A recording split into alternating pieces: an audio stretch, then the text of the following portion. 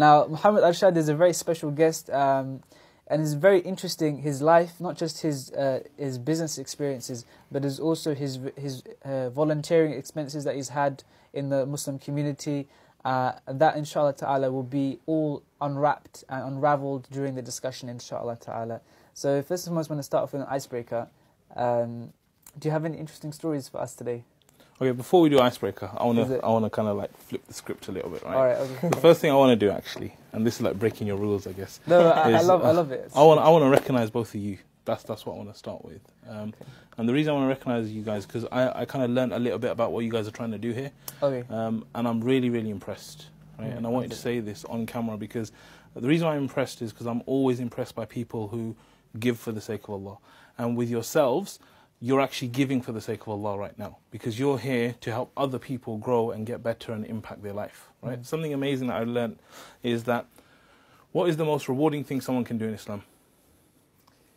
Uh, Are you allowed to talk about it on camera? no, that's good. Alhamdulillah. Yeah. The most rewarding So- thing you can do. Someone dying in Islam, dying Yeah. for the sake of Islam, would be considered very, very Yeah. noble, Yes. right? And that's like a that's like a you know, do not uh, pass go, just go all the way straight, Yeah, and you're like you're made basically, Yeah. Yeah. right? Uh, now think about that. When someone actually does that, like they actually die for the sake of Allah, or something happens, and you know they sacrifice. Mm. What do they sacrifice? Their life. What is life? Their wealth, their family. What their, is life? What is their life? What is Their, life? their, their servitude to Allah. What is life though? What do you mean like life? What is life?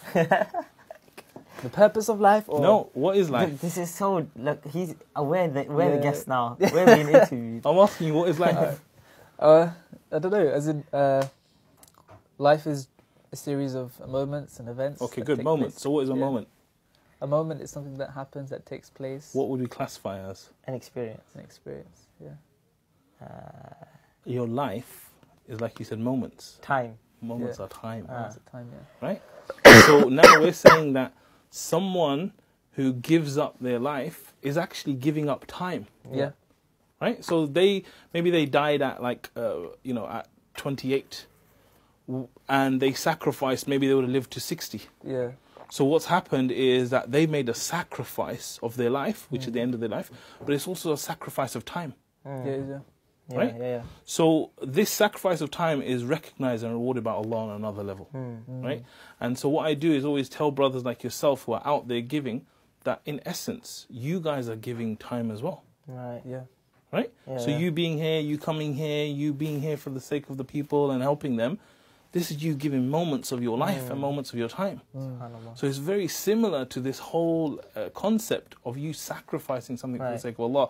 And this is why whenever I meet volunteers, whenever I meet people uh, like yourself, I'm always inspired by them. I'm always inspired by them because I know, you know, just that value of giving that time is immeasurable. Right. And you don't know what it could do for someone as well. Someone Mm. can watch one video of yours, which Yeah. is maybe one minute, and they could change their whole life over it. Mm.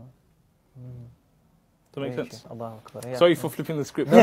but I just wanted to kind of like. no, I you know, really like that. Alhamdulillah. Obviously, you guys. Uh, Mohammad, you're you're a mentor, isn't it? So Yeah. you mentor quite a lot of people, inshallah. Yeah. So I mean, this is something that is a technique that you use to, in terms of mentorship, give them that belief that they have, they're doing something significant, or they can do something significant. Mm. Uh, I think that's you know it's a really good point to, to, to have, or really good um, point to accentuate, because what you're doing is you're saying, look, everyone here has a purpose. Everyone here can bring value to people. Yeah. It's just about choosing what's of value and will suit you and what your characteristics.